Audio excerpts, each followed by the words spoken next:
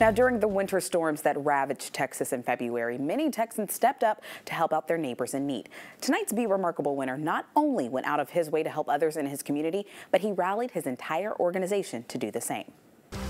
When snow and ice covered the roads in East Texas, not many people were able to drive in the conditions, causing several doctors and nurses to be stuck at home and unable to care for their patients. That is until Justen Hollis and the East Texas Jeep Outlaws stepped in. Well, the past few years, we've helped with Christus Good Shepherd. They've contacted us through bad weather, and we've always been able to go out and pick up their doctors and nurses and make sure they got to and from work. Just this time, it lasted more than a day or two, and it lasted six days, so it was a lot bigger. The nonprofit was contacted by Christus Good Shepherd to see if they would be able to drive some of their caregivers to work. Anytime there's some bad weather coming and we know it's coming, they always contact me and I get everybody ready and set up. And as soon as they send me the long list of who needs to be picked up, I send it out to the drivers. The team of 81 drivers worked around the clock in dangerous conditions, all to make sure that the men and women at the hospital had a way to and from work. Thank you. We estimated with the hospital, we averaged 150 a day. Now, that wasn't 150 people, that was 150 transports. So at the end of the week, we come up with the number of 900 to 1,000 transports. And then the hospital told me that the 1,000 number was even low because we didn't get lists for riders that were going home. When a Jeep would pull up and drop somebody off at work, two or three people were coming out getting in a Jeep ready to go home.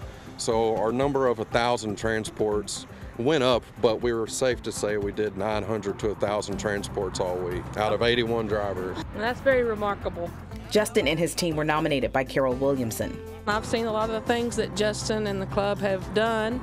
And so when bad weather hit, I kept seeing Justen post, um, you know, needing this driver, these drivers, and the list. List is ready for tomorrow morning, everybody.